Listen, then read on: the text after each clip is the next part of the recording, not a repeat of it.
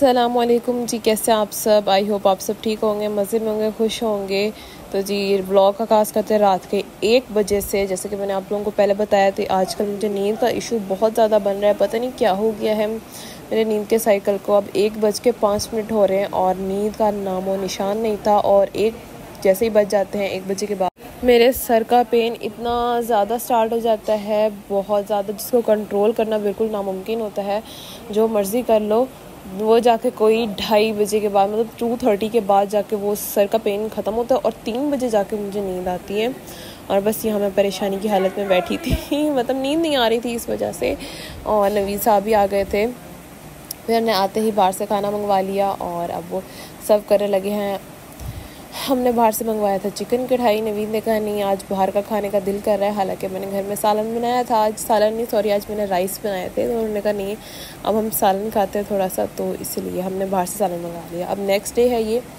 आज मैंने नवीद के लिए पेंट शर्ट निकाली। मैंने कहा, मौसम चेंज हो रहा है, अब ज़रा पेंट शर्ट भी पहन लें। बहुत पहनते थे पहले। मैंने कहा, अब पहन लें। फिर उन्होंने ट्राई किया। उन्होंने कहा, नहीं आयशी अच्छी नहीं लग रही। अब दोबारा इसकी नई कलेक्शन करूँगा न्यू शॉपिंग करूँगा पेंट शर्ट्स की फिर पहनूँगा, इसलिए उन्होंने फिर दोबारा से ब्लैक सूट पहन लिया। और आज उन्होंने कहा कि आपकी तबीयत थोड़ी अजीब है मतलब उदास हैं आप, चलें आज आपको मैं आपके घर चक्कर लगवा के आता हूँ। तो अल्हम्दुलिल्लाह से हम लोग तकरीबन कोई दस या ग्यारह बजे घर से निकल चुके हैं। भावलपुर जा रहे हैं और घर पे मैंने कॉल कर दी थी। मम्मा को, मम्मा भी बहुत ज़्यादा खुश हुई कि आयशा इतने दिन बाद आ रही है। ज़ाहिर नवीद बिज़ी होते हैं अपने काम में तो टाइम नहीं मिलता। अब तकरीबन वन वीक तो टोटली उनका बिज़ी है टोटली तो जब काम का बर्डन ज़्यादा होता है फिर बहुत ज़्यादा बिज़ी होते हैं। तो इस वजह से। फिर इंशाल्लाह मेरा इरादा ये है कि मैं कुछ दिन के लिए जाऊँगी फिर।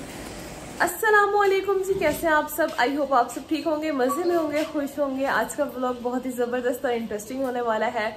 आज के ब्लॉग में कुछ डिफरेंट मैंने शेयर किया जैसे कि मैंने आप लोगों को बताया था कि मैं घर में काफ़ी ज़्यादा बोर हो रही थी, काफ़ी ज़्यादा। तो इस वजह से फिर सबने मुझे कमेंट्स भी किए कि आपको कहीं जाना चाहिए। और जहाँ उन्होंने बताया था, आज मैं वहीं आई हूँ और बैकग्राउंड से तो आप लोगों को पता चल जाएगा। तो ब्लॉग का स्टार्ट तो हो चुका है। आप लोग फिर यहाँ तक आते आते आप लोगों को थोड़ा सा टाइम लगेगा।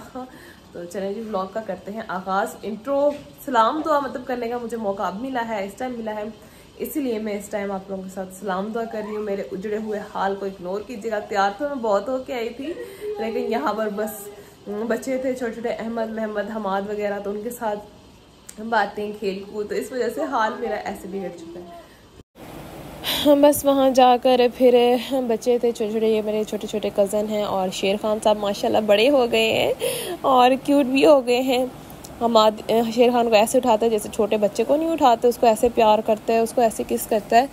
हम्म, बहुत प्यार करता है। देखिए माशाल्लाह खुद भी बड़ा क्यूट है और शेर खान भी बड़ा क्यूट लग रहा था। बच्चों के साथ इंजॉयमेंट की। काफ़ी सारी बुशरा यूनिवर्सिटी थी और खतीजा अभी स्कूल थी। वो दोनों अभी नहीं आई थी। अहमद महमद भी स्कूल थे। उस्मान और हमाद घर पे थे। मैंने कहा चलो आओ हम लोग ही गपशप लगा लेते हैं। और माशाल्लाह इतना प्यारा बोलता है ये अब बोलना सीख रहा है उस्मान साहब। तब ये बोलता है, ये हमाद इसको कह रहे हैं, अंदर आ जाओ, अंदर आ जाओ हेलो कर दो व्लॉग बन रहा है हेलो कर दो। मतलब देखे, बच्चों को पता होता है मतलब हम जिस माहौल में बच्चे रह रहे होते हैं, उनको पता होता है, अब उन्हें पता है कि व्लॉग बन रहा है, यहाँ हेलो करते हैं हाय करते हैं। और मम्मा को पता था कि नवीद की फेवरेट राइस हैं, और उसके बाद ये चिकन कौरमा उसका फेवरेट फेवरेट है। तो अम्मी ने, जैसे ही हम लोग पहुँचे, ये कौरमा तैयार था। और अलहमदिल्ला से बैक साइड पे आप लोग देख सकते हैं कि घर के दरवाज़े आ चुके हैं, सारे के सारे बस अब वेट कर रहे हैं। जो बंदा दरवाज़े लगाता है ना, वो फ्री होगा तो आके घर के दरवाज़े लगाएगा। घर वालों ने कहा कि सर्दियों से पहले दरवाजे लग जाए, बेहतर होगा, क्योंकि मेन घर का काम तो हो गया है। अब बाकी डेकोरेशन का काम है ये, वो, ये तो फिर साथ साथ चलते रहते हैं। अगर हम कहें ना कि एक ही टाइम पर सारा काम हो जाए तो ऐसा नहीं हो सकता।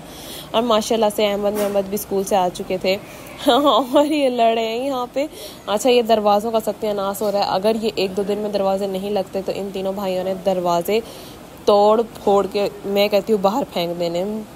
अभी मेहमद साहब लगे हुए हैं और सारा दिन बस इस पे, आज मैं देखती रही हूँ, बस इसी को बजाते रहते हैं, इसी को बजाते रहते दरवाज़ों को बजा बजा के थक जाते हैं। किसी तरह ये टूट जाए, किसी तरह ये टूट जाए। अच्छा बच्चों से भी शैतान भी मैं कहती हूँ, पनाह मांग जाता होगा और जहाँ पे लड़के हों और इकट्ठे हों और हम एज हों, वहाँ तो आप लोग सोच भी नहीं सकते कि कितना हाल होता है। सोच भी नहीं सकते। वो देखिए, वो उस्मान साहब, वो जनरेटर के अंदर घुसे हुए थे, वो जनरेटर की कोई जो है ना सेटिंग्स कर रहे थे और उसको खींच के बाहर निकाल रही खतीजा खतीजा इनका व्लॉग बना रही थी, शोर बहुत ज़्यादा था, इसीलिए फिर मैंने वॉइस ओवर कर दिया और हमारे गेट को भी नज़र लग गई। इसकी स्टोरी मैं आप लोगों को बाद में बताऊँगी और मेरा सांस लेने में थोड़ा सा रहा है क्योंकि मुझे फ्लू वगैरह हुआ है। उसके बाद खाना वगैरह खाया और नवीद सो गए थे और मैं यहाँ पे दिखाने आई हूँ शेर खान। मैंने कहा, देखें जी, इसका सोने का स्टाइल कितना ज़बरदस्त है ना। यहाँ पे नवीद भी सो रहे थे और शेर खान भी बड़े मज़े से नींद कर रहा था। मैंने कहा, चलें जी, मैं इनको डिस्टर्ब नहीं करती और मैं चलती हूँ। बुशरा खतीजा यूनिवर्सिटी बुशरा यूनिवर्सिटी से और खतीजा स्कूल से आ चुकी थी। खतीजा माशाल्लाह से काम लिख रही थी तो मैंने कहा, मैं आप लोगों के साथ शेयर करती हूँ, माशाल्लाह माशाल्लाह. इतनी प्यारी हैंड राइटिंग और माशाल्लाह, बुशरा तो वैसे ही टॉपर थी बचपन से ही, लेकिन हदीजा भी बुशरा को देख देख के उससे आगे निकलने की कोशिश करी कि मैं भी टॉप करूँ, मैं भी टॉप करूँ। माशाल्लाह से बुशरा अपनी यूनिवर्सिटी में टॉप करी है। उसके दो सेमेस्टर हो गए, दोनों में उसने टॉप किया है, अल्हम्दुलिल्लाह से। और खतीजा भी देख देख के अब बहुत ज़्यादा इम्प्रूवमेंट करती है। माशाल्लाह खतीजा अपना होमवर्क कर रही थी और साथ बुशरा अपनी असाइनमेंट्स बना रही थी, कोई याद कर रही थी काम वगैरह यूनिवर्सिटी का।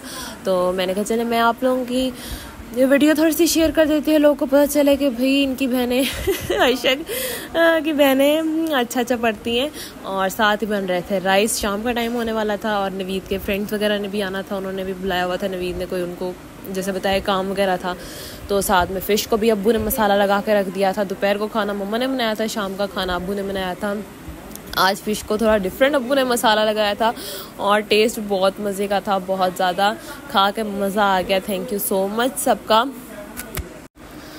अच्छा मैंने एक चीज़ नोटिस की है कि जो हम सालन बनाते हैं ना फ़िश का, वो इतना ज़्यादा नहीं खाया जाता। लेकिन जब हम फ्राई करके अलग अलग मसालों से फ्राई करके खाते हैं ना तो वो ज़्यादा मज़े की फ़िश होती है और वो ज़्यादा अच्छे से खाई भी जाती है और हज़म भी मैं कहती हूँ सही हो जाती है। अब यहाँ पे खाना सारा तैयार था। अबू साथ साथ फ़िश फ्राई कर करके देते जा रहे थे ताज़ी ही और अम्मी ने सारे कुछ नवीद के हवाले कर दिया कि बेटा खुद ही अपने मेहमानों को आप सर्व करो जितना आपका दिल करता है तो बस नवीद सर्विंग का काम करें। यहाँ पे सबके लिए राइस वगैरह डाल रहे हैं। फ़िश वगैरह कौरमा था, वो भी हमने साथ दे दिया कि जिसका दिल करे वो कौरमा डाल ले। और बस ये हमसे चावल कुछ गिर रहे थे नीचे, कुछ डल रहे थे। अल्हम्दुलिल्लाह जी, घर में वापस आ गई हूँ। और तकरीबन रात के कोई नौ बज रहे, नहीं, आठ बज रहे सो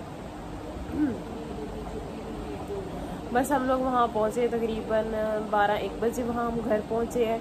सब माशाल्लाह बहुत ज़्यादा खुश हुए बस फिर मम्मा ने खाना बनाया हुआ था हमने खाना खाया और उसके बाद फिर शाम हो गई। शाम को भी कुछ नवीद के फ्रेंड्स भी आए थे, वहाँ जो जो भावलपुर रहते हैं तो उन्होंने मिलना था। ज़ाहिर काम वगैरह की डिस्कशन चलती रहती है तो वहाँ उनकी भी वो लोग आए थे तो उनके लिए भी शाम को, फिर अबू ने सारा खाना रेडी किया, हर चीज़। बहुत अच्छा टाइम जो है ना वो स्पेंड हुआ, बहुत अच्छा टाइम गुजरा, माशाल्लाह माशाल्लाह। इतने दिन की बोरियत थी थोड़ी उदास थी मैं, थोड़ी बहुत ज़्यादा उदास थी। और शुक्र, अल्हम्दुलिल्लाह, आज मैं काफ़ी मेरा माइंड जो है ना वो चेंज भी हुआ फिर काफ़ी ज़्यादा दिन हो गए थे, मैं घर नहीं गई थी, अम्मी से मुलाकात नहीं हुई, बुशरा खदीजा से मुलाकात नहीं हुई। तो अलहमदिल्ला आज मिल के बहुत मज़ा आया, बहुत ज़्यादा। और अब मुझे नींद भी आ रही है आज, वरना मुझे पूरी पूरी रात गुजर जाती है, नींद नहीं आती।